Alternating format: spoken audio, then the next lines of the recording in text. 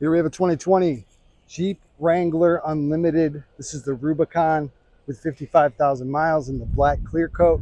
You got tow hooks on the front there, all-terrain BF Goodrich tires, nice black wheels, tinted back windows, keyless entry, remote start, nice black and red interior here.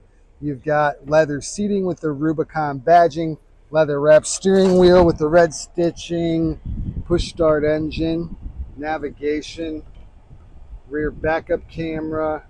You got heated front seats, heated steering wheel, a couple USB ports and an auxiliary port. You got your 12 volt.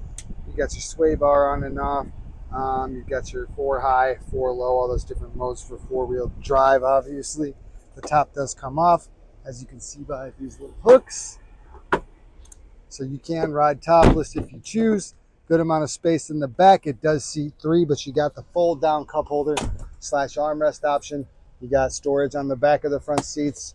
You've got USB ports, 115 volt uh, for charging various devices. Sorry. Obviously, you got your extra spare tire, tinted back window, good amount of space in the trunk. If you lay down the second row, you got 52 cubic feet of cargo space total. You got an all Alpine sound system, so great audio, and you have everything that you need to put a soft top on the vehicle if you prefer that over the hard top. This is a beautiful truck, guys. A lot of features. If you like what you see, come on down today to Zeigler Honda of Racine.